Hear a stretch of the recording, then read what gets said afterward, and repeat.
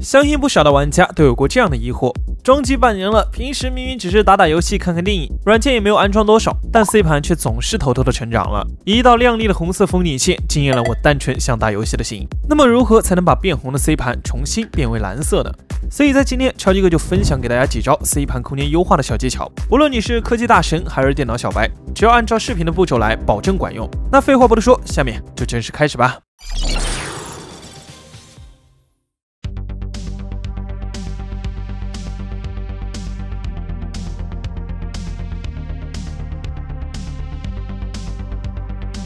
其实 C 盘空间越用越小，主要是因为系统的使用缓存以及垃圾文件堆积造成的。而想要清理它们，通常可以使用 Windows 自带的清理功能和第三方清理软件来实现。那我们就先看看如何利用 Windows 自带的清理功能来释放 C 盘空间。首先按下键盘上的 Windows 加 R 键，打开运行，在对话框中输入百分号 temp 百分号字符，并点击确定。这个时候，系统就会自动弹出一个带有众多文件夹的窗口。里面装的基本就是临时文件和缓存了，此处文件均可删除，直接 Ctrl 加 A 全选，再按住键盘上的 Shift 加 Delete 键，直接永久删除，避免之后再去回收站处理一遍。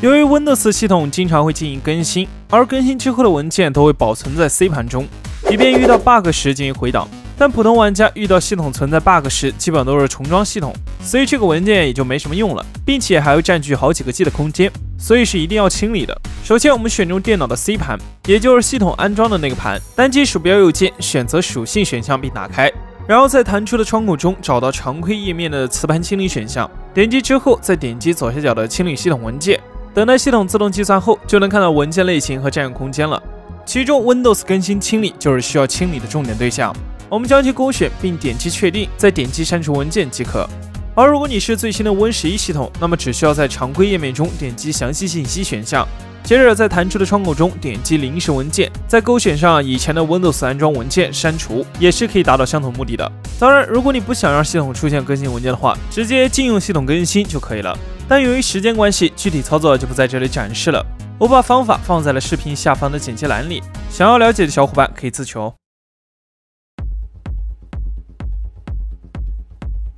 来到这一步，想必大家也都知道了。有很多玩家会在自己的桌面上放置众多文件和图标，比如这样、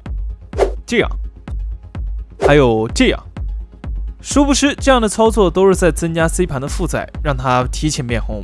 所以，更改桌面路径就显得尤为重要。具体操作如下：首先，点击文件中的此电脑，并在下拉菜单中找到桌面选项，或者直接在此电脑窗口中找到桌面文件夹，然后鼠标右键打开属性。在弹出的窗口中找到位置选项，这样就能看到桌面文件的存储路径了。默认情况下是在 C 盘中，然后我们点击路径下方的移动选项，准备更改文件路径。这里大家自行选择除 C 盘以外的其他任何地方即可，记得一定是除 C 盘以外的。同时在执行这一步前，推荐大家先在其他盘中新建一个桌面的文件夹，方便之后的文件存取。在这里，我就以 D 盘为例。选中这个新建的桌面文件夹，然后再回到之前的窗口，点击应用和确定。如果你桌面本身就有文件的话，那么系统会帮你移动一会儿，等待完成即可。这样一来，无论桌面存放多种图标文件，都会出现在其他盘，而 C 盘就会保持相对干净了。与此类似，诸如像视频、图片、文档、音乐等文件夹，都是可以通过这个方法来进行处理的。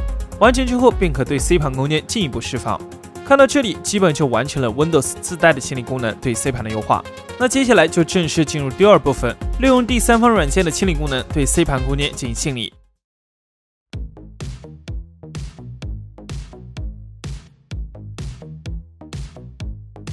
在这里使用的软件名为 Space Sniffer，它仅有两兆大小。能直观的反映 C 盘中的各项文件分布，比如文件越大，所占的方块也就越大，那么就可以按需直观的清理文件。同样的，软件安装包放在视频下方的简介栏处，想要下载的小伙伴可以直接自取。下载好 Space Sniffer 软件后，直接解压并打开它，在主页面中双击打开 C 盘，经过短暂的扫描之后，就可以看到 C 盘各个文件的详细分布情况了。其中橙色图块为文件夹，蓝色图块为具体文件。操作起来很简单，鼠标左键点击橙色文件夹的中心为打开该文件夹，单击白色边框则是选中，同时双击白色边框可以将文件夹最大化。鼠标悬停则是显示详细信息。所以想要删除文件的话，直接选中需要删除的项目，鼠标右键删除即可。当然，操作的时候最好还是长按键盘上的 Shift 键，直接永久删除，避免再去回收站处理一遍。除此之外，为了防止大家误删系统文件，也罗列了几种常见的命名供大家参考。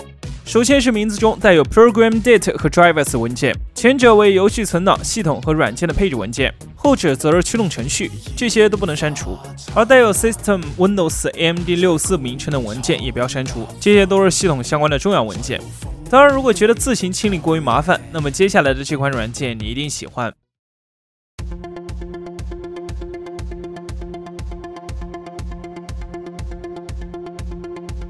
Dism 加加通过使用空间回收的功能，能自动分析 C 盘中的垃圾文件，只需一键就能达成清理和优化功能。具体操作如下：下载文件并解压后，双击 Dism 加加叉六四点 exe 程序启动软件，在主界面的常用工具中找到空间回收选项并点击。在这里建议电脑小白保持默认清理就好，不必勾选其他选项。接着点击右下角的扫描，等待几秒后，勾选文件的后面，便会出现相应的空间大小。然后直接点击清理，并在弹窗中点击确定就 OK 了。而在清理完成后，软件还会提醒清理出多少空间，可以说是十分方便。当然，这款 Dism 加加软件还有另外一些比较实用的功能，比如启动项管理、驱动管理等等，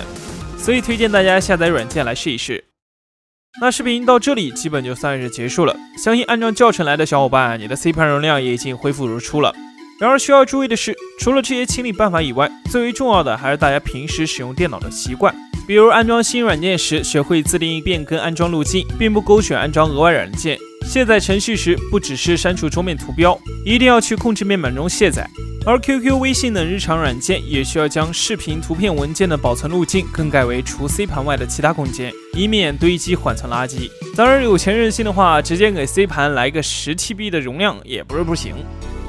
最后再提醒一下，视频中提到的软件和教程都放在了视频的简介栏中，且这些软件均为免费，直接下载即可。好了，以上就是本期视频的全部内容了。如果对你有帮助的话，不妨点关注、三连支持一下。往后我们也会带来更多电脑相关的小技巧，来为你排忧解难。那如果还想了解更多硬件相关的消息和科普知识，记得关注超级课，我是玉强，我们下期再见。